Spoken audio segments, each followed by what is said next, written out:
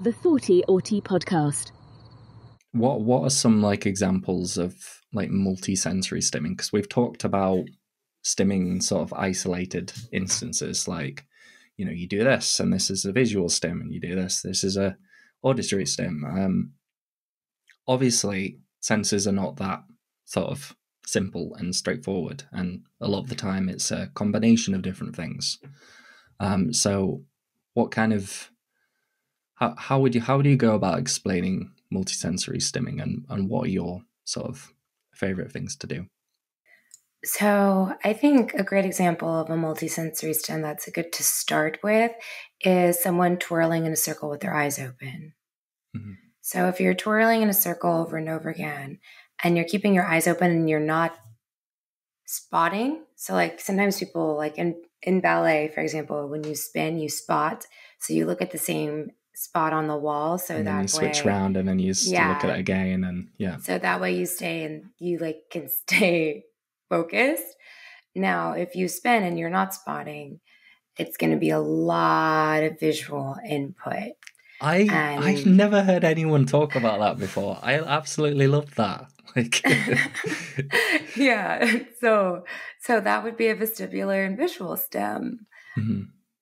And then for me, I like to do that. And I also like to add listening to the same song on mm-hmm. repeat mm-hmm. while I do it. So that's a visual vestibular auditory stim.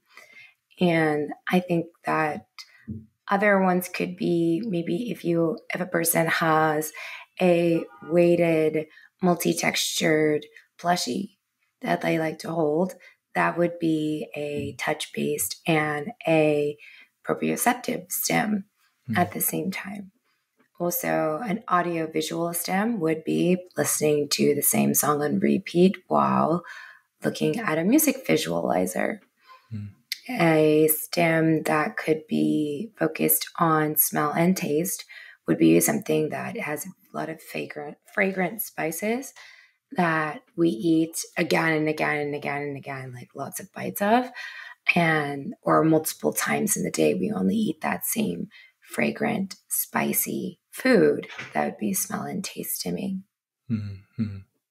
And do you do you find that when when you combine different stims is it something that that helps you regulate more or gives gives you more joy, or do you think it's very sort of dependent on like because I, I know for some sometimes for me, especially if I'm hit by lots of different things with different that kind of what does it stimulate me and in, in in a lot of the like hypersensitive senses that I have, I can find it quite jarring sometimes. Mm. Good day, viewers and listeners. Apologies for my very rude interruption to our regularly scheduled broadcast. I just want to remind you that if you have enjoyed the podcast thus far, please make sure to rate, subscribe, like, comment, and share. All of these actions are pretty much the lifeblood of a small independent creator like myself, and it will help me get most of my work, more of my work, to people who really need it. If you want to stay up to date with my life, get behind the scenes content, check out my daily blogs, head over to the Instagram at Thomas Henley UK. You'll find a link to that down in the description, alongside my range of neurodiversity clothing, just like this strong, powerful autistic hoodie that I love so much. And my website, of course, where you can find a contact email to book me for one to one autism coaching, interviews, workplace training, and speaking. So, thank you very much for listening to this very annoying self advert, and I hope you enjoy the rest of the show.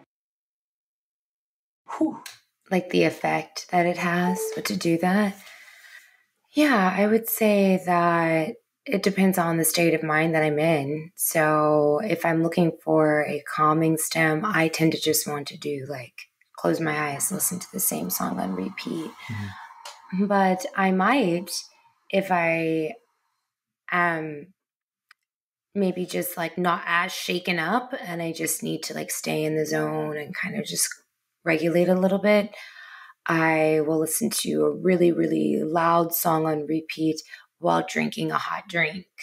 And that's like keeping me really focused in on the sensory input and then I can calm the whatever rattling thing happened to me prior.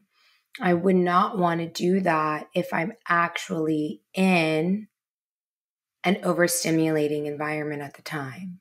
So yes, if I'm in a very overstimulating environment, I'll just rock back and forth. I'm not about to like plug in my headphones, blast heavy metal, rock back and forth, and like eat a spicy food all at the same time. I'm I'm just going to be rocking back and forth. Mm-hmm. Yeah. So um, that's really interesting. I I think it's definitely something that I need to think about a lot a lot more because you know for me anxiety overwhelm stress it's it's pretty much like a constant battle every day for me and i'm always trying to kind of think of different ways to sort of soothe, soothe myself in that way that sounds weird uh, I, I, I quite I like. it sounds perfectly okay. yeah.